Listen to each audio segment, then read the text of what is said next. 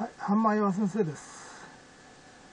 えー、インジケーターなんですけども、このように、えー、勝率80%以上で、1週間に10個以上の取引があるというの分析と、平均ピップスですね、1回シグナル出てから稼ぐまでの余裕ですね。これが20ピップス以上の幅がある平均でね、えーえ20ピープス以上ある、ね、分析データ。それから、中や、な中よ、あ、片片寄せボリンジャーバンドですか。失礼です。片寄せボリンジャーバンドの、えーえーえーセントラルね、えーレレジョン、あの、その位置ですね。中心地でのシグナルの発生ということでね。言うなれば、あの、流れすぎというのを抑えたんですね。流れすぎのあるのは、あの、巻きやすいということでね。えーこの黄色線ね、これ、片寄せボリンジャーバンドの上下のね、えーから出ちゃったら、この指定のラインが出ちゃったら取引は成立しないようにしました。この方がね、あの、流れる時があってた時に、勝敗が悪くなりますから、こういい位置に探してくれるんじゃないかということですね。出ちゃうと、上はもう延々に出ちゃうことがあるんですね。これでね、普通ね、この、ボリンジャーバンドなんかで上に出たら、ボリンジャーあるね、数値以上出たらシグナルを送るようなサイン方法は、ちょっと流れるんでダメじゃないかということでね。で、えー設定値がこのようにね、1、2、3、4、5、6、カッコ、カッコ、カッコ、カッコ、カッコ、カッコは4つありますでしょ。上の右側ですね。あの一つの通学の。えー左上ですと27の37、17の38、23の34、42の31ってあるんですけど、4つも分析データを作ってます。で、テクニカル分析、まずここは4つですね。それで片、寄せボリンジ、片寄せボリンジャーバンドでまた3つぐらいテクニカル分析使ってます。ね。だから、7つの分析の設定値があるわけですね。片寄せボリンジャーバンドは100個、100にしてますね、今、指定がね。そうするとね、あの、何百億もね、あの、設定値になっちゃうんですよ。何百億も。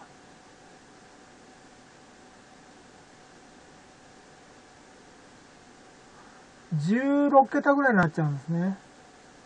数値。16桁だったら、もう100億ですか ?16、8桁で1億でしょ？確か。その、ね、1億かける1億分の設定値になっちゃうんですよ。そうすね、いい値というのは、普通のパソコンだと10年はかかっちゃうんですね。で、その日の分析だから、その日に、その数時間で出ないといけないんで、スーパーコンピューターじゃないと計算できないということでね。このハンマー岩先生のインジケーターはね、まず、これを、ああの、上げたり売ったりすると汚職になるで稼げるような感じがしますので、ね、汚職になるんでできないということと、ね、これ、あの、盗まれたとしても、普通のパソコンじゃ処理ができないということでね、ね、あのーいうことですね。まあ、あのーかなりね、で、やっぱりね、これ、片寄せボリンジャーバンドオリジナルなんですけど、あるいろんな人から見て改造したやつなんです。えっ、と、あんまり変わりませんけれども、で、そそれを使ってね、その、センタリングしてるんですね。外に出たやつは流されちゃって、シグナルとしては怖いということで、泣かない、泣かないで処理されたやつですね。で、シグナルを作ってます。これなんか出始めちゃってるとこはシグナル出ないんですよ。ね。この上下だけなんですね。上下だけ見えないかな。あのー、差しても見えないですね。この上下ね、上下、黄色と黄色、二つありますでしょ。それを枠から越したらダメなんですね。で、この枠はいろいろ調整できましてね、無限なんですよね。これは大変なんですね。いあのー、まあそんなことで勝率が上がりました。勝率とか勝てるようになってきましたね。こういうふうに設定値が多いということでね。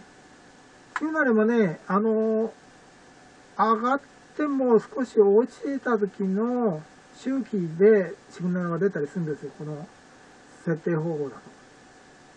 単純じゃないんですよ。上にでバーンとシグナルが来たらね、ね、RSI でね、高いのが来たら、じゃあ次、上だった、上だったら下に買えばいいんじゃないかというような、ね、下に売ればいいんじゃないかということになりますよ。だとわかんないんですね。どんどん上に上がっちゃうことなんですね。これだとそういうことがあの起きにくいというですね。あの、上がってから少し落ちた時にシグナルというようなことがあり得るんですね。で、なおかつ、インヒビットしてるんですね。硬い寄せ。だから、まあ、ボリンジャーバンドみたいなもんで、それ抜けすぎ、抜けたらシグナルを出さないよって逆に。普通、抜けた時にシグナル出すんですよ逆張りでね。これが違うところの特徴ですね。またできてきましたね、右下ね。これ80%で平均ピップスが38ピップス。いいですね。今までの中で一番いいんじゃないですか。いいですね。投資数は10個あるそうです。1週間でね。いいですね。ユーロ AUD 出てきましたね。これ分析してるんですよ。あ最高ですね。ちょっとこれ真ん中の方に持ってきますけど、ね、こうですね。ね。これでまた、こ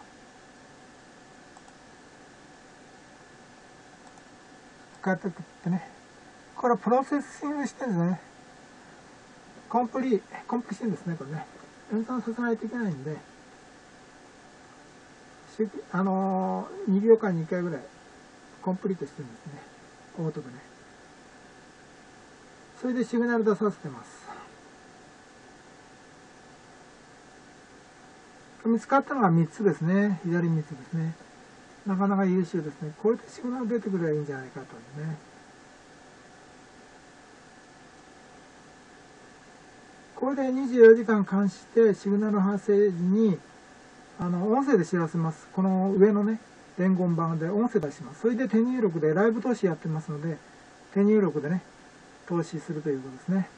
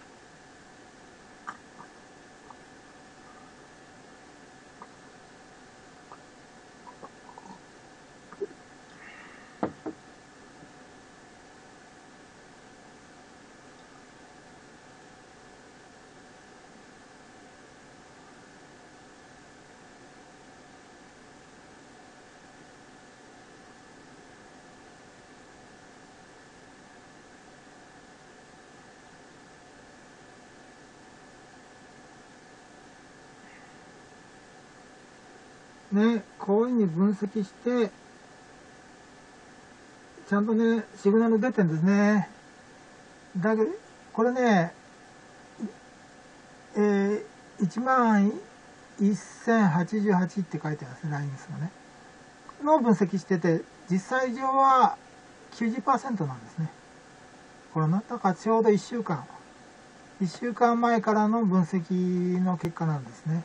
勝率が80%なんですね。このようにぴったり正確に出てます。だから同じような、同じようなシグナル、ただね、80%苦戦もので20%では落ちますから。20%。ね。80%でせいぜい60%ですから注意してください。だから、あんまりバイナルオプションで手数料が多いとこでは通用しません。だから分析するの90%とか100%になっちゃいますね。そういう設定値が変わります。今、このハイアンドロシアは80%ぐらいで、えー、利益取れるかなという感じですね。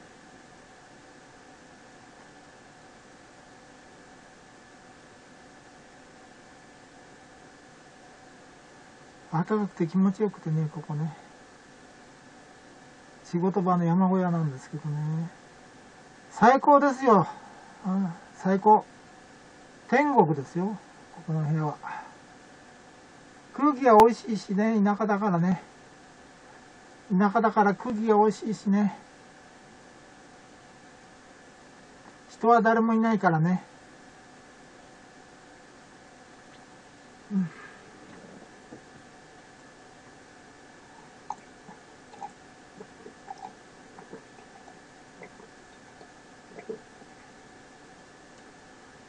ウーロン茶飲んでますね、先生は。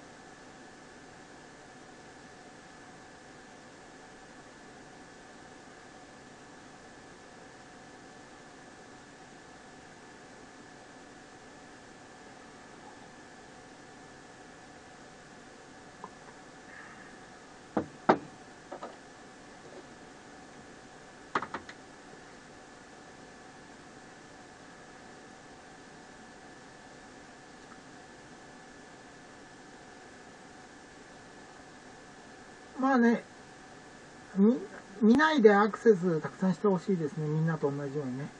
内容を聞かないでね、アクセスだけ多くしてくると広告収入が入るんですよ。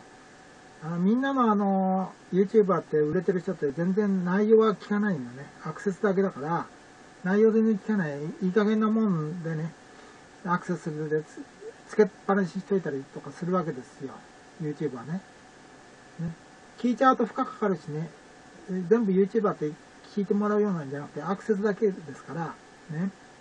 先生のはちゃんとしっかりした内容でね、使用してるんですけど、あの、有料で本当は取らないといけないんだけど、無料の方がアクセスの方がね、儲かるからね。だからなるべくこう聞かないで大大事な情報だからなんか流しとくとかいう先生のね、話聞かなくてもいいんだけど、まあ、なんか音楽じゃないけども、ちっちゃい音量でね、ね、流しとくという、なんか勉強になるかなというような感じで勉強、見てもらうテレビですね。内容はもう厳しくて聞いてられない内容ですから、難しいことばっかしなんでね。だから音量を下げて、一日中ハンマ先生のこのテレビを流しといてください。それで、えー、勉強になるようにね。で、私とか東大は、じいさん二人とも東大、おじも東大。で、おじは小松製作所の取締役やってましたしね。で、勉強になりますから。で、じいさん二人とも閣僚やってますから、防衛庁の技術研究所と、ね、え私の本家の方のじいさんも、えー、昔に閣僚やってて村長やってました定年になってね定年になって村長やってましたで学歴がいいから東大に入るためにはちょっと音楽という感じで流しとくのがちっちゃい音量でね。ただ直接聞いちゃうと頭痛くなりますからね。無理に聞かないで小音量でね聞き流すような感じで音楽のような感じでねちっちゃな音で流すというようなテレビです。24時間をね。そうすると東大に入れたりねね優秀なね閣僚になれたりしますから。ね。そういうのだから投資というのもあるし一般的なことのこともか言ってますから。これは浜岩先生の YouTuber のテレビ。だから一応大体年に2億人ぐらいアクセスしなければ儲かんないんですよ。ね。今全然入ってないでしょ。ね。みんなの勉強嫌いだからですよ。私のせいじゃないんだけどちゃんとしたもん私は大学の先生のあの国家試験持ってますからね、大学、大学の時に大学の先生の講習を受けましたから、実習いたしましたからね。だ博士でも審査できるんですけど、自分は学士で卒業してますけどね、自分で、自分に自分で博士博士号を上げることもできますけどね。あの、一応学者でやってます。ね。えー、学士でね、で、あのー、卒業してますよ、私は。博士号は卒業してませんよ。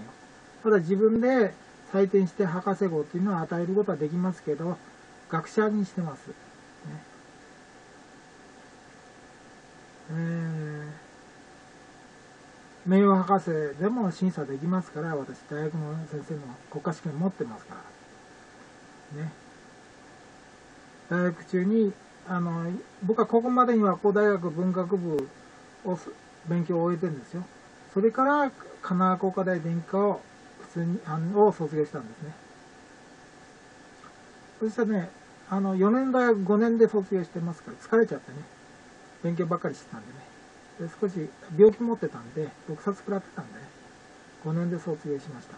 けど大学の先生の勉強とかね、なるための自習、実際にあのあの仕事してましましたから学生の時に。あの優秀な学生の先生をやったりとね研究室の先生をやったりとか、ね、当然一番トップだけど表彰されてるのは一番優秀な卒業してるのはあ普通の人ですからね。私の方は学力ありましたけどね。ね。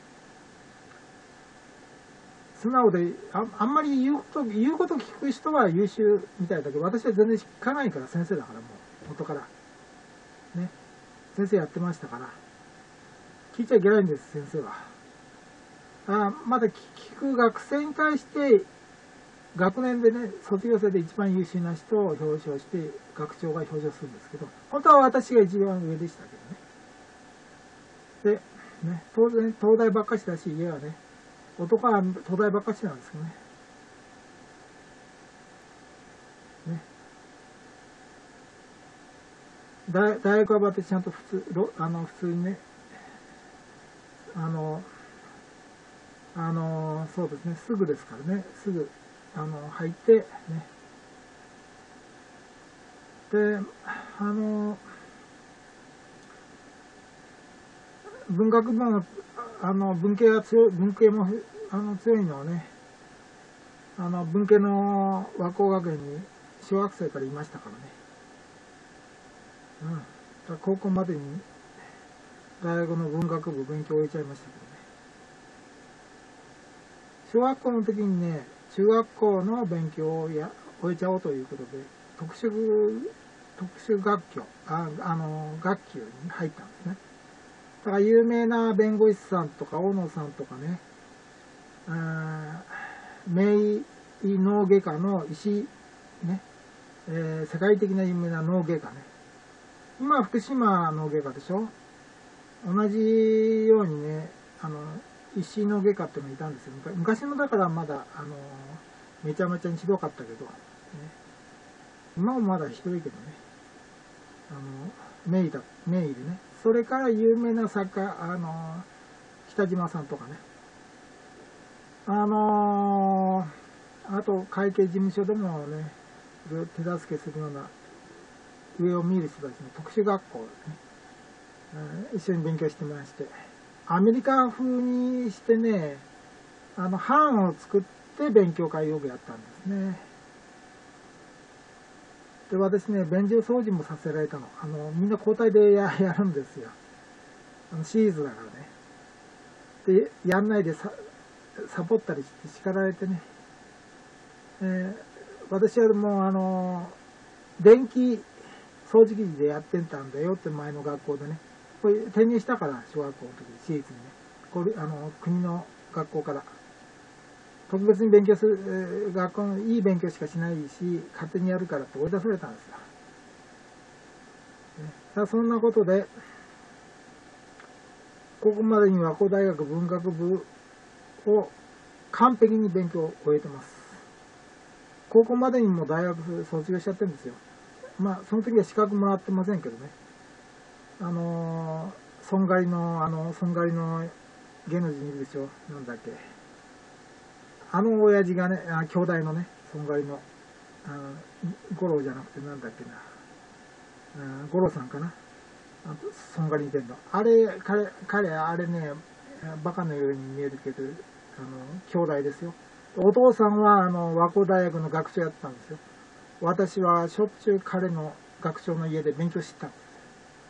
家に行ってね、直接ですよ、和光大の学長の家に行って勉強したんです。すぐ、和光大学のね、近くに、あの、裏側の山にね、家持ったんです。あったんですよ。で、息子だって優秀だしね、うちのところだって東大だしね、東大ね、ばっかしだからね。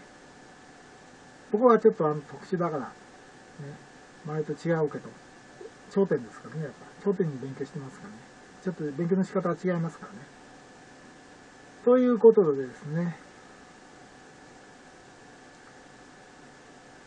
あのめちゃめちゃ勉強しないと許さないということでね。あのめちゃめちゃに勉強できなければ全然相手にしないっていう人をねだからね注意してくださいね。馬鹿にしてるわけじゃないんだけどもうおしまいとかも思うぐらい気がそうだから全部ね。勉強してない人大嫌いだからね。ね。僕の彼女でだってで、塩は薬科大でしょ？薬科大で今5年かかるんですよ、卒業するのに。4年の大学じゃなくなっちゃったんですよ。5年、5年の大学になっちゃったの。薬科大学の資格とか関係でね、難しいから。5年ないと卒業できなくなっちゃった難しいんですよ。20歳年下だけどね。まあそんなことで、あのー、いろいろね、やあの勉強ができないと投資はこれあの分析でできなければやってないのはみんなバカばっかし。ね。あの東大卒業してても文学部じゃダメですよ。バカですよ。計算できなければ。ね。超能力でやんないといけないんで。できるけど、僕は2年前、バイナリオプスのスペシャリストになった時、半分は超能力でやったんだ。で、半分はコンピュータ分析、インジケーターでね。半分助けてくれたけど、それでも半分超能力で稼ぐっていうのは辛いんですね。病気になっちゃうんですよ。だから、その、それでね、やる、やる、やるっていうのはしょっちゅうやるっていうのは、頭バカ。大バカというか大変でね、精神異常者になっちゃいますよ。苦しくて。ね、まともな人じゃなくなっちゃう。ますから、で、ね、苦しくて苦しくても、ね、体壊しちゃいます。だからダメなのね。絶対ダメだからね。うん、ということで。えー、どうもありがとうございました。えー、2016年ズルトレーダーのバイナリーオプションにおいて日本一から世界一になったなって1億円近く投資をしておりました世界バイナリーオプションスペシャリスト社の半間洋先生でした2017年は世界第2位でした現在ツルトレーダーは FX 創意となってます。となってます。どうもありがとうございました。